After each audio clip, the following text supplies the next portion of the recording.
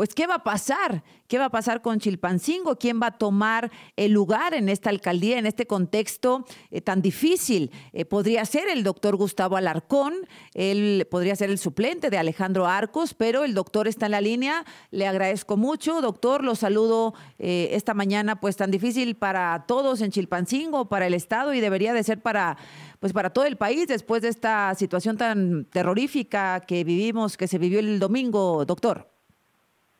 Sí, muy buenos días, Susana. Susana. Eh, es un problema bastante, bastante serio, difícil entender que existe una gran, eh, un efecto de la delincuencia grave que sucedió y que obviamente pues después de tanto estar en, en los las actividades propias de la familia, en el dolor, en todo esto, teníamos que sustraernos.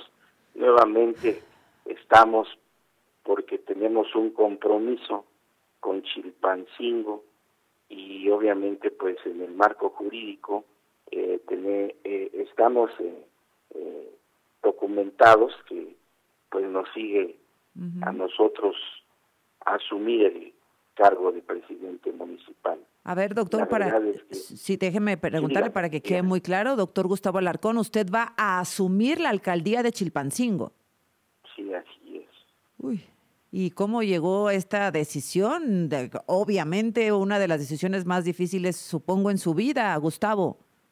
Yo creo que sí, yo creo que sí, porque el compromiso que hicimos con Alejandro desde un principio puede servir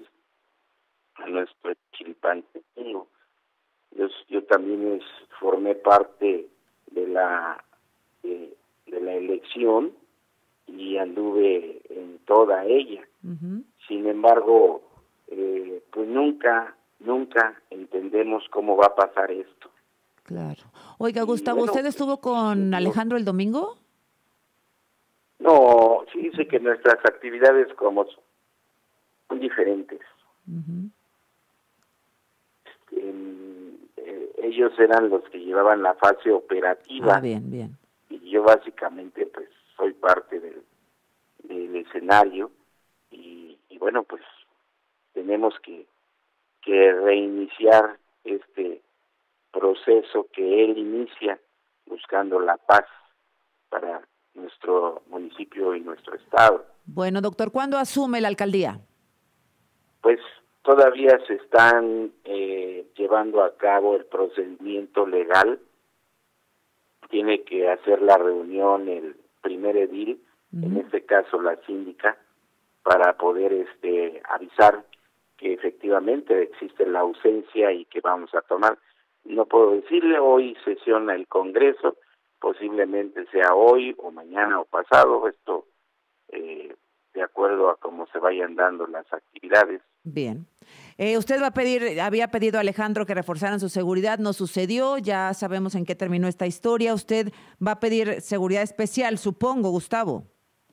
Este, desde el día de ayer ya tengo seguridad en el del estado, del municipio. Del estado y del municipio. Sí, así es. Tiene escoltas, camionetas, eh, vehículos blindados, etcétera. No, no, no, no, no. Blindados ah, no, pero sí escoltas. Uy, bueno, bueno, bueno, pues eh, seguramente usted lo tendrá que revisar.